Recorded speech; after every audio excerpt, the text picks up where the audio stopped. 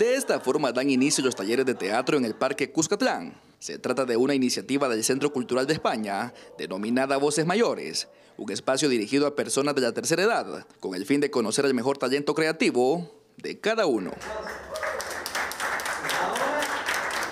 En este sitio conocimos a quien cariñosamente llaman Don Chemita, quien a sus casi 80 años asegura tener mucha energía y comparte que nunca es tarde para alcanzar las metas.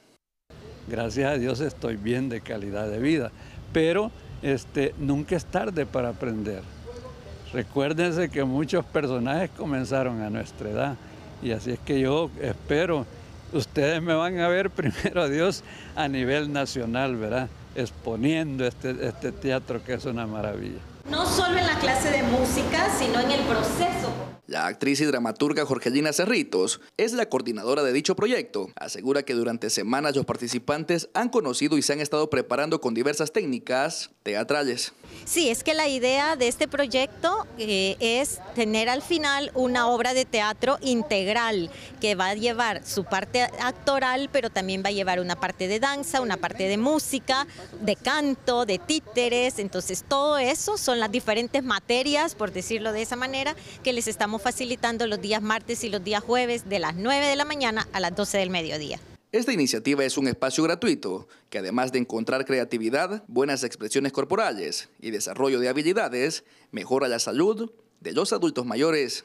La verdad que todo esto de las artes escénicas es nuevo. Yo siempre he sido un poco aficionada al teatro y es algo que siempre había querido hacer. Ya que se dio la oportunidad, pues la estamos aprovechando. ¿Cómo se ha sentido en este tiempo?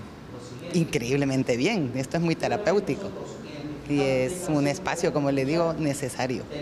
Tiene que ver con no solo acercar la oferta cultural a esta población, sino también generar los espacios, brindar las herramientas para fomentar también las, expresiones artísticas de, de, estas personas. Lo primero es generar un espacio donde puedan llegar, donde puedan socializar y luego también eh, donde conozcan herramientas porque los profesores ¿no? son, gente muy profesional.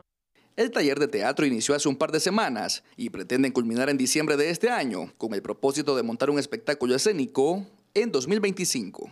Kevin Lemus, TCS Noticias.